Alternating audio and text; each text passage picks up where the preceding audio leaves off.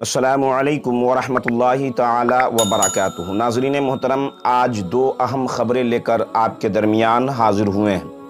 ایک خبر کا تعلق ترکی کے صدر رجب طیب اردگان سے ہے، تو وہیں دوسری خبر فلسطین سے ہے۔ ناظرین، خبر کچھ اس طرح ہے کہ ترکی کے صدر رجب طیب اردگان، صحابی رسول صلی اللہ علیہ وسلم، حضرت ابو ایوب انصاری کے مزار پر حاضری۔ اور دوسری خبر کچھ اس طرح ہے، اسرائیل۔ پچیس ہزار فلسطینی بچوں کو ماننے سے انکار کر دیا ہے۔ ناظرین، پوری جانکاری جاننے کے لیے آپ ویڈیو کو اخیر تک ضرور دیکھیں اور کومنٹ باکس میں جا کر آپ اپنی رائے ہمیں دیں۔ ویڈیو کو خوب شیئر کریں۔ ناظرین، انبیاء کرام علیہ السلام کے بعد سب سے اعلیٰ مرتبہ صحابہ کرام رضوان اللہ تعالیٰ علیہ مجمعین کا ہے۔ اور حضرت ابو ایوب انصاری رضی اللہ تعالیٰ عنہ وہ ہیں جن کو رسول خدا صلی اللہ تعالیٰ علیہ وسلم کے میزبانی کا شرف حاصل ہوا ہے۔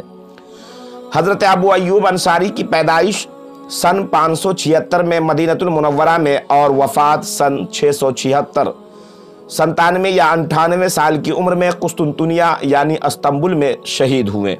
آپ کا مزار مبارک قسطنطنیہ ایوب سلطان مسجد میں ہے۔ حضرت ابو ایوب انصاری رضی اللہ تعالیٰ ان منتخب بزرگان مدینت المنورہ میں ہیں، جنہوں نے اقبا کی گھاٹی میں جا کر رسول خدا صلی اللہ علیہ وسلم کے دست مبارک پر اسلام کی بیعت کی تھی۔ جبکہ مکہ سے دولت ایمان لے کر پلٹے تو ان کی فیاض طبعی نے گوارہ نہ کیا کہ اس نعمت کو صرف اپنی ذات تک محدود رکھیں۔ چنانچہ انہوں نے اپنے اہل و عیال، دوست احباب، رشتہ داروں کو بھی ایمان کی تلقین کی اور اپنی بیوی کو حلقہ اسلام میں داخل کیا۔ مزار مقدس آپ کا ترکی کی سرزمین پر قسطنطنیہ شہر میں ہے۔ رجب طیب اردگان نے آپ کے مزار مبارک پر حاضری دے کر پوری دنیا کو یہ بتایا اور اپنے غلامی غلام رسول اور عاشق صحابہ ہونے کا ثبوت پیش کیا۔ ناظرین دوسری خبر جو میں نے آپ کو بتایا کہ فلسطین سے ہے، اسرائیل پچیس ہزار فلسطینی بچوں کو ماننے سے انکار کر دیا ہے۔ فلسطینی وزارت داخلہ نے انکشاف کیا ہے کہ اسرائیل نے حالیہ مہینوں میں پیدا ہونے والے پچیس ہزار فلسطینی بچوں کو تسلیم کرنے سے انکار کر دیا ہے۔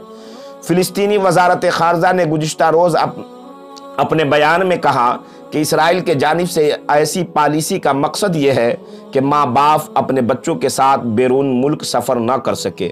فلسطینی اتھارٹی بضابطہ طور پر اسرائیل کو نام فراہم کرے تو اسرائیل بچوں کو تسلیم کرتا ہے۔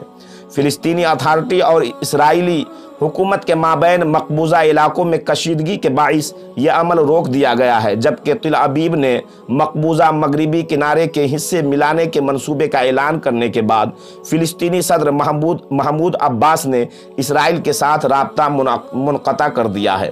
فلسطینی وزارت داخلہ کے سیکریٹری اطلاعات یوسف حارب نے فلسطینی سرکاری خبر رسا ایجنسی کو بتایا کہ وزارت فلسطینیوں کے لیے پاسپورٹ، شناختی کارڈ، ڈیتھ سرٹیفکیٹ سمیت تمام ضروری دستاویزات جاری کرتا ہے۔ اگر کشیدگی نہ ہوتی تو وزارت مئی سے پہلے پہلے تقریباً پچیس ہزار سے زائد بچوں کی پیدائشی سرٹیفکیٹ جاری کر دیتی۔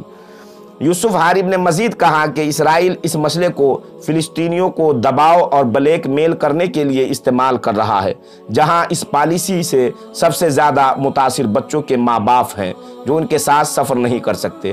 انہوں نے کہا کہ اسرائیل ہمیشہ سے فلسطینیوں کے ساتھ بلیک میلنگ کرتا ہے اور یہ کوئی نئی بات نہیں۔ ہے ناظرین، میری گزارش ہے کہ آپ اس ویڈیو کو خوب زیادہ سے زیادہ لائک بھی کریں اور اپنے دوست احباب رشتہ داروں تک شیئر بھی کریں۔